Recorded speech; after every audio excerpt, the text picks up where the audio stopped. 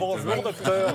Bonjour. Jean-Marc, ce matin, Oui. vous vous intéressez à notre équilibre et on a tendance à oublier que c'est une qualité essentielle pour s'entretenir notamment. Expliquez-nous tout. Et oui, l'équilibre, en fait, c'est une qualité physique, c'est un sens qu'on oublie, et pourtant qui est, absolument essentiel parce qu'il permet de préserver sa santé. Alors, effectivement, euh, notamment, on stabilise ses articulations, et si on stabilise ses articulations, on se blesse moins. Donc, c'est un élément de prévention euh, de blessures. On sait aussi que ça permet de renforcer les muscles, les muscles profonds autour de la colonne, les muscles du tronc. On maintient sa posture, et ça, c'est bon pour le dos également. Et puis, enfin, on perçoit mieux son corps, et si on perçoit mieux son corps, mais on optimise ses performances. C'est le cas notamment des sportifs. Alors cet équilibre, il faut le travailler, quel que soit son âge. De ce qu'on soit jeune ou plus âgé, l'éveil bien sûr de la motricité chez l'enfant, euh, le sportif un petit peu plus âgé ou la personne âgée pour éviter les chutes, il y a un intérêt à travailler cet équilibre. C'est absolument fondamental. Qu'est-ce qui peut provoquer des troubles de l'équilibre? Eh ben, l'équilibre, en fait, c'est euh, un système, ou en tout cas, c'est un sens qui est organisé par plusieurs organes. Alors, on sait que les yeux interviennent, évidemment, euh, le, le système nerveux, euh, l'oreille interne. hein. l'oreille interne, c'est un système qui est à l'intérieur, comme ça, du rocher, un os qui est au niveau du Provoquer cerveau. des vertiges d'ailleurs, Et- et si qui- euh, c'est troublé. et qui peut donner les vertiges, vertiges de Ménière, et, et- etc.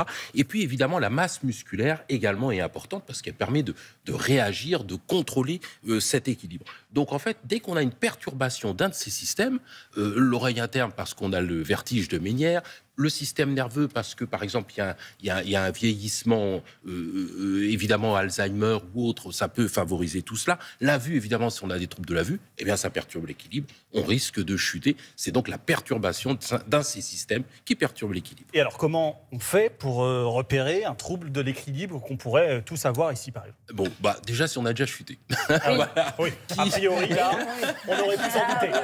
Merci docteur.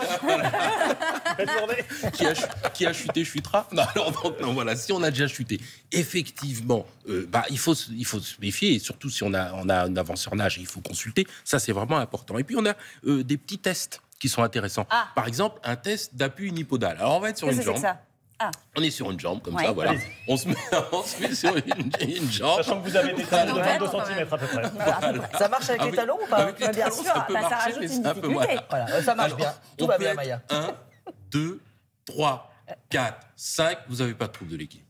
Bon, voilà. En revanche, si, si on n'arrivait pas à tenir 5 secondes, les yeux ouverts, effectivement, là, méfiance, il faut consulter parce que peut-être il y a ce trouble de l'équilibre. Et puis il y a des exercices simples hein, chez les personnes âgées. Le fait de pouvoir se relever sans appui d'une chaise, le fait de pouvoir se relever les deux, les deux pieds joints, le fait de pouvoir tourner sur soi-même dans un sens et puis dans un autre, euh, les yeux ouverts, les yeux fermés. Bon, ah oui, il faut faire ça doucement, évidemment. hein. et puis pouvoir se rasseoir. Et ben tout ça sont des petits tests de la vie courante qui nous permettent de savoir si on a un bon équilibre ou pas. Voilà. Eh bien, Génial. merci, Oui. docteur.